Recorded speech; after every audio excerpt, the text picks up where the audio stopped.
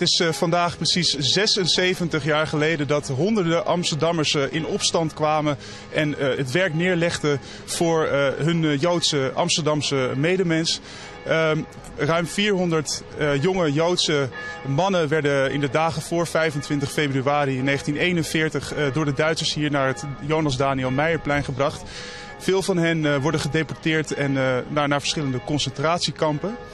Uh, ja, veel Amsterdammers uh, die op dat moment bij de staking aanwezig waren, kunnen het niet meer navertellen. Maar één van hun wel, en dat is Bertus van der Kuil. Dat was een heel donkere dag. Grimmiger en grimmiger werd de sfeer in de stad in 1941. Bertus van der Kuil werkte in de fabriek bij Fokker. Het moment dat er gestaakt werd, was nogal spannend. Nou, we liepen dus, uh, dat was eigenlijk heel, heel iets unieks.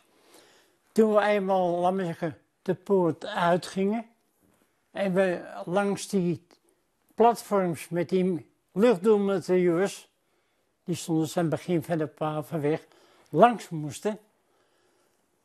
En we waren er wel voorbij. Toen schreeuwde een van die Duitsers heel hard, daarvan, innerhalb vijf minuten weg, hadden we schiessen. Dus hij zei niet van we moesten terug. Nee, hij gaf opdracht verder weg moesten. Nou ja, dat uh, bevel hebben we uitgevoerd.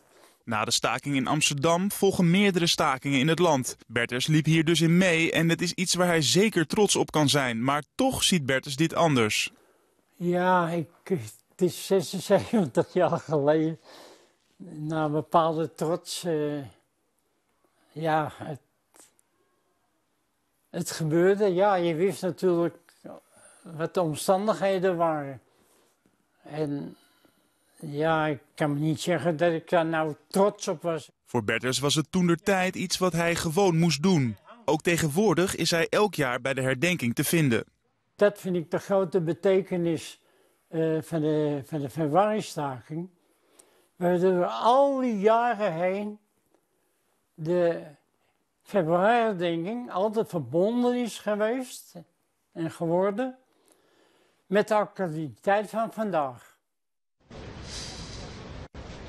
Ja, dat was eh, Bertus van der Kuil. Uh, fijn dat hij uh, dit verhaal nog kan vertellen. En we hopen natuurlijk dat hij dit nog jaren kan blijven doen. Inmiddels op het Jonas Daniel Meijerplein begint het al aardig vol te stromen. Er zijn speeches van onder andere Jeroen Krabbe. Dus al met al een, een fijne herdenking.